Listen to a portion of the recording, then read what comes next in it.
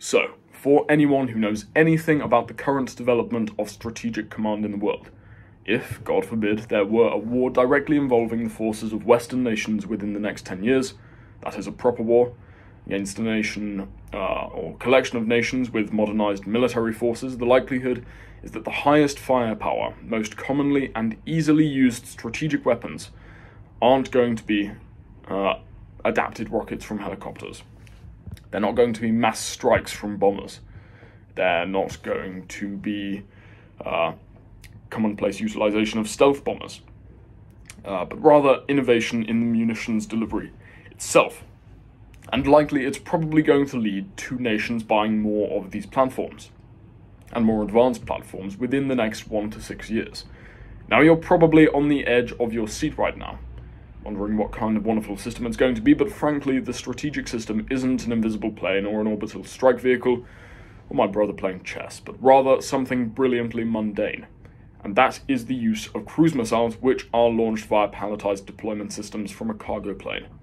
Now, this all starts with the well known JASSM, the Joint uh, Air to Surface Standoff Missile, the thing which the LRASM is based on. Now, as its name suggests, it is a standoff missile, meaning it's a cruise missile. Uh, it can strike the enemy at more than 100 meters away, uh, 100 kilometers away even. Uh, and the JASSM is a brilliant missile in itself, costing around uh, around a million pounds, I think around one million thirty-six pounds, and it utilizes a 450 kilogram WDU 42 penetrator warhead, which has become pretty famous for its potency as well as a turbojet engine for longevity of cruise at subsonic speeds. Now it has a range, a long range, of around 230 miles, but the uh, JASSM-ER, the extended range variant of the, of the JASSM, has a range of 575 miles, and the JASSM uh, XR, the extra range variant, can travel more than 1,200 miles, which is an incredibly long way. That's insane range. And the reason why this system is going to be the building block for the next generation of strategic weapons, and the reason why it's been developed so much. The JASSM uses GPS and INS, as you'd expect, in the mid-course, as most cruise missiles do, uh, in the cruise that is, and then infrared homing, as well as ATR, which is uh, automatic target recognition.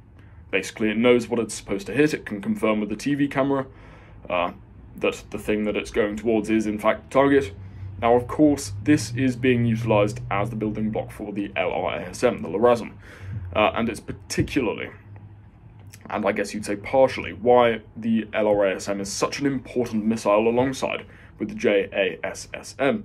If we were to get to the point where we could utilize palletized deployment systems, well, then strategic strike just got far more effective, far simpler, and really at a far larger potential scale during this conflict, which could be uh, pretty devastating. Now, currently, the JASSM can be equipped on the B1, the B2, the B52, as you'd expect, as well as the F 15, the F 16, and the F 18.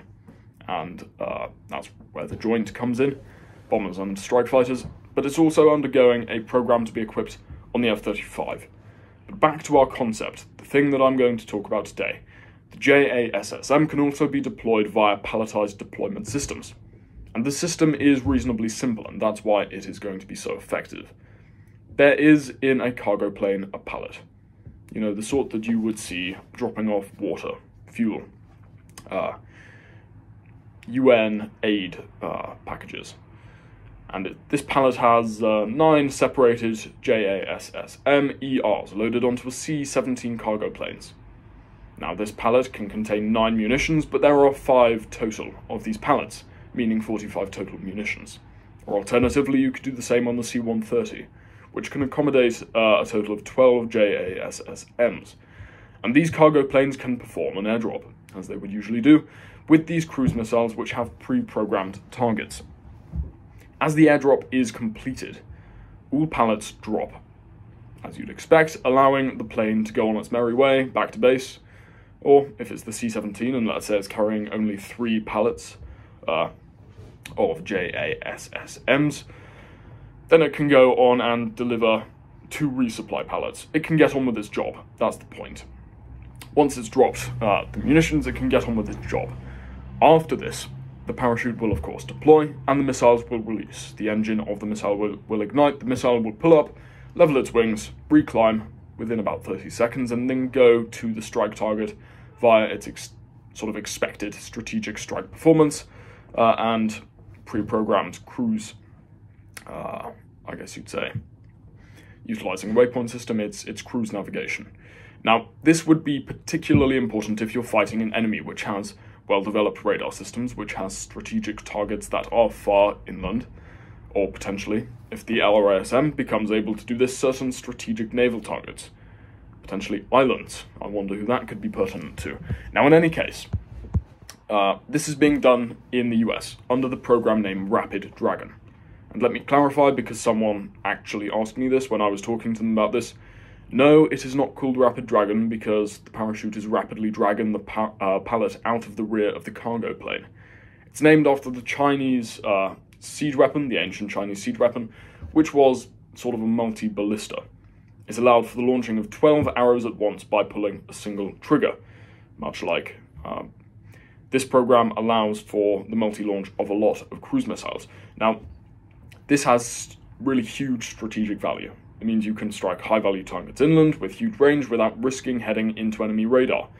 It also allows for mass deployment of weapon systems, meaning high-value strategic targets can be destroyed in one fell swoop simultaneously with a cargo plane, which is incredibly common, which is already easy to utilize and effectively the you know it doesn't have to be adapted in any way it doesn't have to spe be specialized.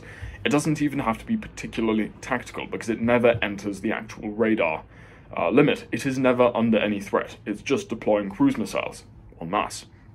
Now some are speculating as was in the thumbnail uh, of this video that the expansion of this could lead to even further mass development of missiles and mass deployment of missiles in huge quantities in order to carry out these simultaneous strikes on the enemy, which of course is going to be really overwhelming. But these missiles are going to be reasonably stealthy, able to avoid certain detection threats, as you will have seen in the JASSM and the LRASM videos.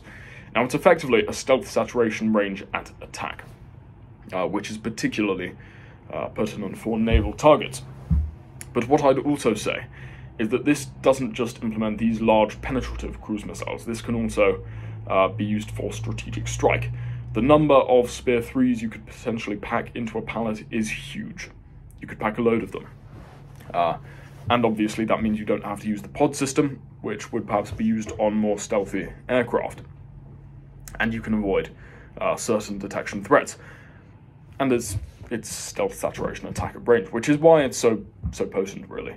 Now, if pallet technology is upgraded to the point where these munitions can deploy in huge bulk, that is to say, it's not just nine being deployed, but you deploy something as seen in the thumbnail, um, a large, almost uh, storage vehicle which can hold, you know, potentially even hundreds, perhaps not that many, but, uh, you know, let's say 100 cruise missiles. Uh, it can deploy all of these munitions in huge bulk and with the ease of target programming, the cargo planes become hugely important as an asset because they can hold so many munitions, and it becomes far more useful in an attacking role. And it also means that there's less risk for uh, strike fighters, which would otherwise have to enter the airspace. Now, it would be a game changer to release these huge salvos en masse from cargo aircraft, and it was it would pretty much transform the face of uh, air surface warfare. So what's my point at the end of the day? Well, first off, these are going to play a major, major role in the next however many years of warfare. Additionally, it turns cargo planes into a far more useful, far more versatile, given that they can uh, now resupply, given that they can now, uh, I guess, drop specific units, as in drop people in. Uh, you know, they can drop uh, paratroopers in, but Beyond this, it turns them into vehicles that can deploy munitions, which means that they are far more versatile in their role. And likely this means that they will be far more on-demand assets uh, that governments will look to be acquiring or even adapting for this capability specifically. And one could even say that cargo planes are finally getting the limelight. but it's always worth remembering that they really are the backbone of a lot of operations.